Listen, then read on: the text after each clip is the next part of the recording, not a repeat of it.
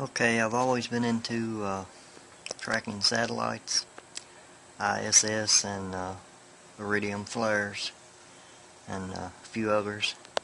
And uh, since I'm a ham radio operator, I decided to try my hand at uh, working ham satellites.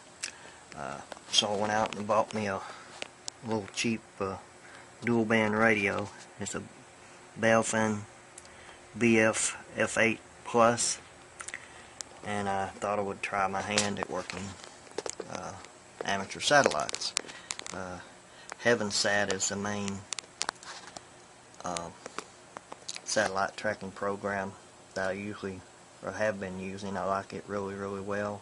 Uh, I've got Orbitron and I just uh, downloaded SimpleSat here trying it out playing around with it a little bit and uh, of course I have an app on my phone called ISS uh, ISS detector on my uh, Android phone and it lets you download amateur satellite uh, data and keeps you updated on those and when they're going to pass. So uh, I thought I'd try my hand at uh, working amateur satellites. And right now all I have is the BFF8 and the antenna. Uh, that's all I have to work with right now. I'm in the process of building me a uh, homemade 2 meter 440 antenna that I can use for working satellites but uh, right now this is all I've got. Uh, SO50 uh, Saudi Sat was fixing to make a pass. My phone went off and let me know that it was coming by. It was a low pass. It was only uh, about 34 degrees at the highest point and I almost didn't fool with it because I didn't figure that I would be able probably to pick it up with just you know the radio and the antenna that I have.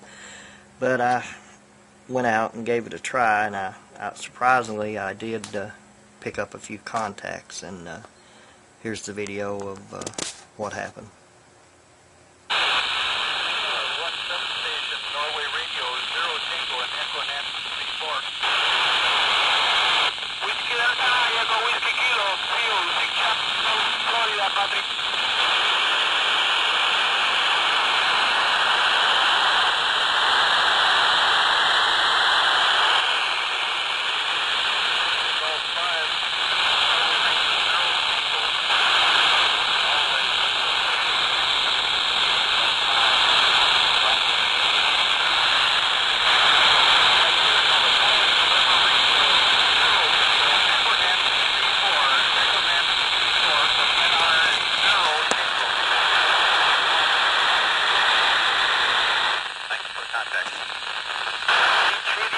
Fred. XE3DX, November 8 Hotel Mike, Fox Mike 18.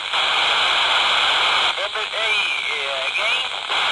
Yeah, November 8 Hotel Mike, November 8 Hotel Mike, Fox Mike 18. November, this is XE3DX, uh, Kilo 36.